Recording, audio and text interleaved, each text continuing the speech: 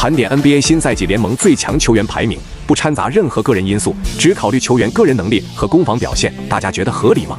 第十四名，德恩布克。作为菲尼克斯太阳名副其实的当家核心，又是现役所有同位置球员当中数一数二的存在。在过去的两年时间里，尽管布克因为自身伤病的问题和场外事件的影响，逐渐退出了年轻一代领军人物的讨论当中，但任何人都无法否认的是，如果单单只从个人的赛场表现来看，他也其实已经算得上是现役球员当中最好的得分后卫之一。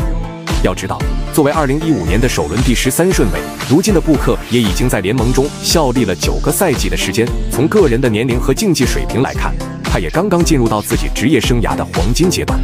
而在二三至二四赛季常规赛的比拼当中，他的场均数据为二十七点一分、四点五篮板和六点九次助攻，其中场均得分和助攻也全都排在了联盟第五和第十一的位置。个人的进攻效率值更是排在了所有同位置主力球员当中的首位。所以在常规赛的比拼结束之后，他也毫无意外地入选了赛季的最佳阵容。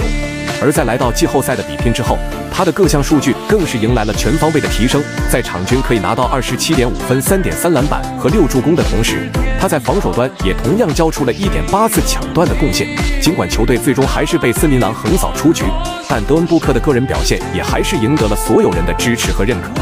再从个人的赛季前景来看，在今年的休赛期到来之后，缺少詹娜作为立棍单打陪练的布克，也一直都持续在高强度的比赛和训练当中。从季前赛中几场比赛的个人状态来看，他的各项命中率和竞技水平也全都迎来了前所未有的提升。而只要能够保持着足够健康的出勤状态，那么他也绝对有希望在新的赛季当中重新回归到最佳阵容一阵的行列。所以，将他排在现役球员当中第十四战力的位置。估计也没有任何人会持反对意见。